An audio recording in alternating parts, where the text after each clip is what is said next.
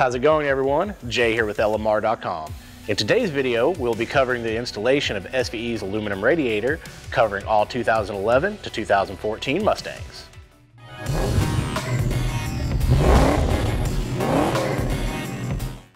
SVE is known for their superior bolt-on parts for your S197 Mustang. In stock form, your Mustang was equipped with a very thin radiator that utilized plastic end tanks. After years of heat cycles and track day abuse, these end tanks tend to crack, causing coolant leaks.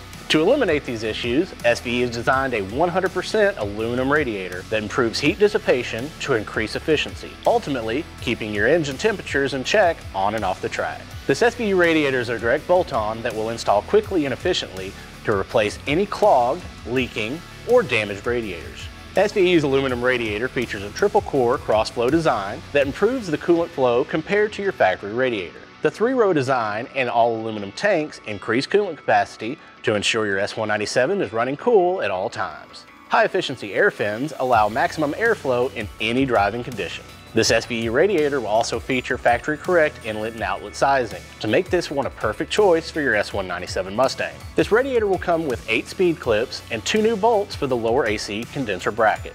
Also, a plastic drain plug with a rubber O-ring is included for easy servicing. For this install, we will show you the step-by-step -step procedures for installing this part on a 2013 GT Mustang. For any parts used or associated with this video, please check out the links in the description below. First, you will need to remove the stock radiator from the vehicle. Make sure you check out the link in the description below for a step-by-step -step guide on how this is done. Just as a reminder, it will be in your best interest to have the vehicle on a lift or Jackson jack stands. First, lay the radiator on a clean work surface and start by installing the supplied speed clips. There will be six of these on the forward-facing side and two on the rearward side. Make sure these are entirely seated and centered on the tabs.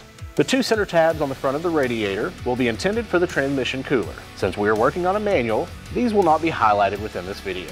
If equipped, the transmission cooler will be held in place by two factory 10mm bolts.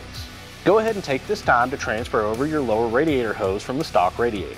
Next, make sure the lower isolators are securely set into the frame rail. Set the radiator in place and align the lower isolators to the mounting studs from the new radiator. Align both of the upper 10mm AC condenser bolts and thread these into place. Reinstall the lower hose to the thermostat housing. Due to the increased size of the SVE radiator, I chose to remove the upper hose from the engine. This hose simply comes off by removing the clip and pulling it away from the T-connector located by the water pump area in the engine bay. Now that this is out of the way, we can set the fan back in place. Slide the lower tabs into the provisions on the radiator and then thread in both of the factory 10mm bolts. Reconnect the electrical connector for the fan at this time. Reinstall both of the upper mounts with the two 10mm bolts on each side. Reinstall the upper hose, starting with the engine side first.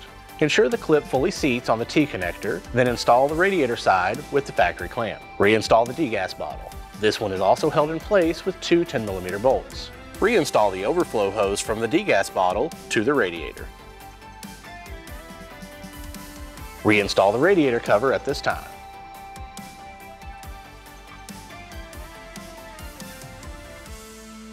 Reinstall the factory airbox or cold air assembly. This will include the 10mm bolt on the fender, the mass air connection, the sound tube, PCV connection, and the clamp at the throttle body. Heading back under the car, at this time you will need to remove both of your lower AC condenser bolts. These will be held in place by two 10mm nuts. You can use a 4mm socket to get this out of place. Install both of the provided 8mm bolts for the lower AC condenser bracket. Take this time to double check that the petcock drain is tight to prevent any leaks. Now install the lower radiator air deflector. This will include both of the 7mm bolts on the inner fender area, six 8mm bolts on the front edge, and the additional 11 7mm bolts on the panel. Get the vehicle on level ground and then fill your degas bottle up. Reconnect the negative battery terminal. Start the car and periodically check coolant levels and fill accordingly until all air is fully purged from the system. Verify the thermostat opens, double check for any leaks, and top off your coolant if need be. Alright everyone, we hope this video has helped you have a better understanding of how to install your new SVE radiator on your S197 Mustang. Overall, this one should take you roughly about two hours to complete. If you like this video, make sure to give us a thumbs up.